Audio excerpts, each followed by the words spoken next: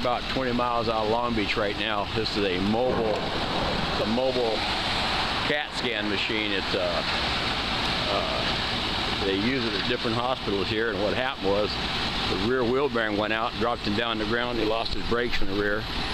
And what we did, we came down, we jacked it up, chained his rear axle up, and the mechanic, the, the guy owns the equipment, he wants to have him try and limp it back to town.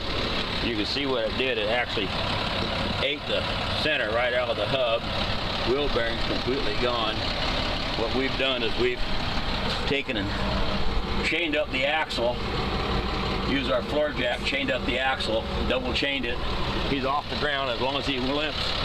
We should be okay. I had, uh, we just brought this truck down. I think we could use the air brakes, but, or the air on it to take the lug nuts off, but yeah, take the lug nuts off. This is uh, Chase, he's helping us.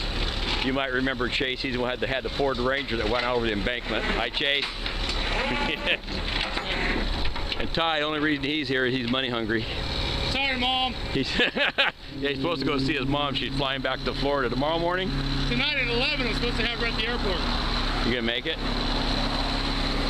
Your sister take her? Maybe. You still gonna go? We're done. So he's gotta go meet his mom. She's flying back to Florida at 11 o'clock. He's supposed to take her to the airport. So we're gonna put the wheels up there and hopefully he'll get out of here in one piece and make it to South Bend, 20 miles.